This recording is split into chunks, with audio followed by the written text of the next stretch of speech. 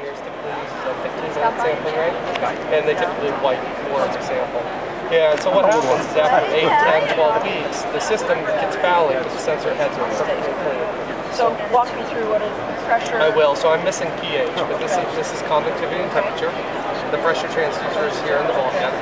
This is our optical dissolved oxygen sensor. This is turbidity. We have Also a, just a little optical path. also, yeah, that's correct. Yeah, we're looking at it. The optics are aligned at a 90 degree angle. Um, this is a Does that reflect back off the target? it does. So we're measuring off the particles in the water at a 90 degree It's just refraction. this, you don't need a back target. No, that's scatter, correct. Just, Just scatter. That's right. Back scatter off the particles in the water at 90 degrees.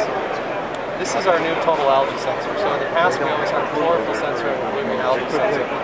We've them into a single sensor now, and that does a lot of things. But one of the biggest ones is it, it allows us to only sense viable live cells. So before we get some interference with dead cells, so we get a much higher accuracy of total algal biomass now. I'm seeing a greenish port That's correct. So there's there's a uh, an amber and a blue LED basically. So we're reflecting at two different wavelengths. again, measuring- the back scatter. Yeah, that's right. Looking at And what's this the reflection back. One is the receiver. It's receiver. The- Yeah. So two transmitters and a receiver. This guy. And this is the um, fluorescence is already at a better So it's a UV light source. And then the pH sensor would be right. I got a white pH sensor. I just don't have one on the sensor. So I'm, actually, I have a pH sensor on here if you want to see what that looks like. So this is the smaller system. This is designed more for spot sampling. so it doesn't Oh no, this is the way I told my girlfriend. I like this, this keeps your clothes. What does the wiper give you for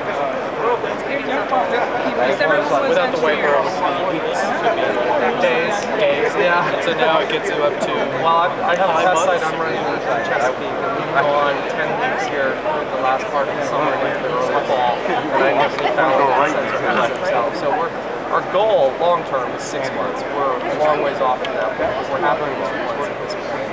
Of course, everybody has their own SOPs. The, the NERRS SWMP is obviously very, very high quality so they're going to go out much more quickly than that. But anything we can do to reduce operations and maintenance costs, because as you know, these projects get funded with capital account, but there's no O and M. This is the pH sensor. It's actually a combination of pH ORP sensor, and we have two versions. We have an unguarded version, which can be white, and then this guarded version. Um, you know, these kind of revolutionize what we used to do in the past. All of these are smart sensors, so each one of these sensors is an instrument unto itself. So we can calibrate a sensor on any instrument, transport to another instrument, whatever you can now they can actually go out in the field with a single calibrated sensor swap. Yeah. And then we have Bluetooth communication back, um, and all sorts of mechanical upgrades.